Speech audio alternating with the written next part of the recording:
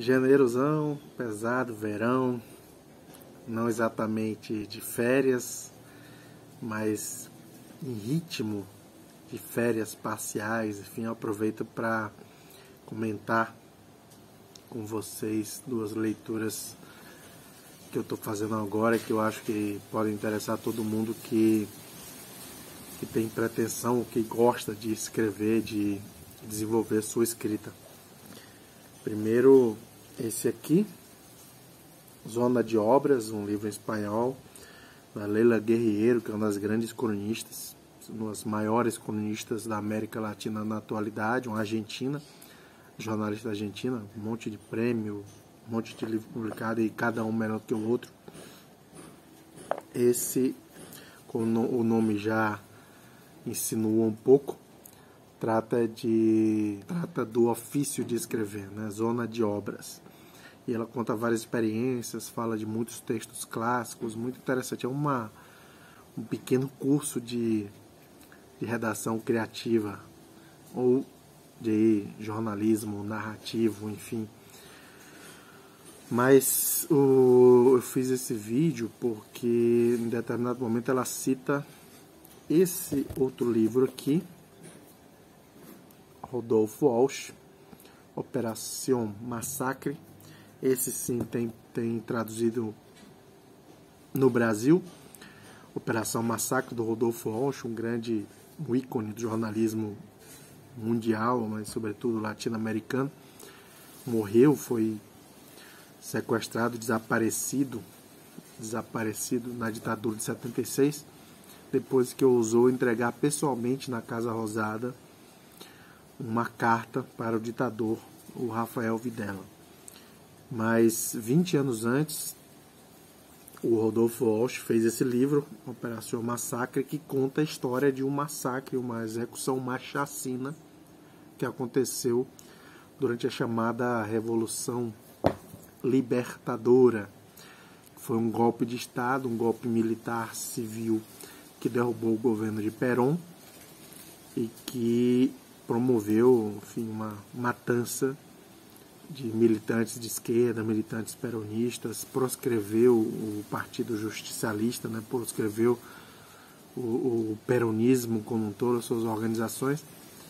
E a Leila Guerreiro fala do quão magistral é esse livro em termos de estrutura narrativa, em termos de qualidade literária, jornalística.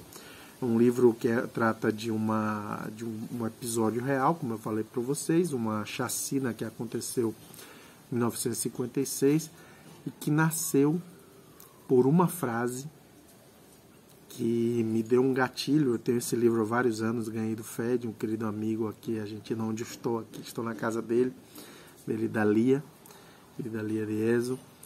O Fed me deu esse livro, meu querido amigo que eu chamo de Fedepédia, me deu esse livro de presente, tem pelo menos uns sete anos. E eu tenho guardado, não li ainda.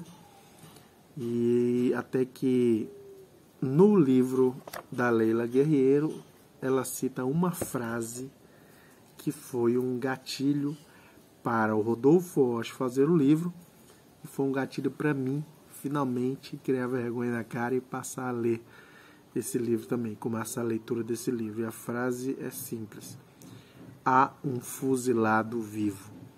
Porque nessa chacina alguns, algumas pessoas sobreviveram e dentre esses sobreviventes, um deles foi fazer um boletim de ocorrência na polícia, foi denunciar o caso e o Rodolfo, o Rodolfo Walsh soube Estava jogando uma partida de xadrez num bar em La Plata.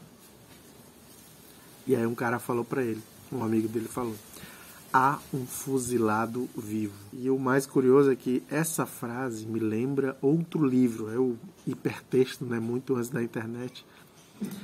Essa frase me lembra o livro Soldados de Salamina, do espanhol Javier Cercas, que foi um dos melhores livros que eu li nos últimos tempos e fez eu entrar no mundo do Javier Cercas, estou lendo um livro dele atrás do outro, já, já vou para o sexto ou sétimo livro dele em três ou quatro anos. E Soldados de Salamina começa com uma história desse jeito também. Um fuzilado, uma pessoa que sofreu um fuzilamento e que sobreviveu. E aí eu não vou dar mais spoiler, mas o livro assim é fantástico, um dos melhores livros que eu li na minha vida. É uma uma grande reportagem também, uma grande entrevista, uma grande uma grande crônica jornalística, não tem nada de ficção, mas que escrita de uma forma que parece uma novela. Deu um filme. Deu um filme, esse sim, claro, tem vários momentos que são a leitura poética do diretor, o David Trueba, que é um dos melhores diretores do cinema mundial, um espanhol, amigo do Javier Cercas. E esse o filme é maravilhoso, mas o livro então nem se compara. O livro realmente é um absurdo de, de bom. E começa exatamente com isso, com um sobrevivente de um fuzilamento durante a Guerra Civil Espanhola. Então fica aí, vídeo longo, mas fica aí a sugestão. Leila Guerreiro, Zona de Obras. E aí, claro, quase esquecia, eu vou ler o primeiro parágrafo de Operação Massacre, fazendo a tradução livre ao vivo aqui. E é.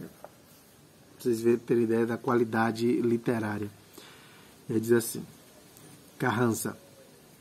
Nicolas Carranza não era um homem feliz nessa noite de 9 de junho de 1956. No amparo das sombras, acabava de entrar em sua casa e é possível que algo o mordesse por dentro. Nunca saberemos de todo. Muitos pensamentos duros o homem leva para a tumba. E a tumba e na tumba de Nicolás Carranza já está seca a terra. Esse é o primeiro parágrafo de Operação Massacre. Fica aí para vocês então a dica desses dois monstros, Leila Guerreiro e Rodolfo Walsh. Um grande abraço.